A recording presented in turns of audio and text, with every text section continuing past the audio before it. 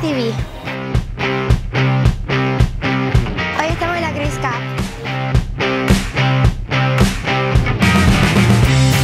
Estamos aquí en la piscina del Grace. Vamos a realizar la Copa del Colegio, la Grace Cup. Lo hemos preparado todo el año, desde el año pasado que también competimos y nos fue súper bien.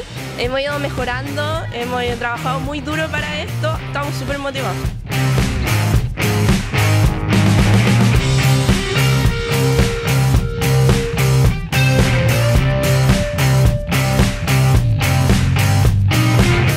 Principalmente mis funciones como capitana es mantener tranquilo al equipo, que se puedan realizar bien y que no haya ninguna dificultad entre ellos y poder comunicar los mensajes que me transmite el profesor.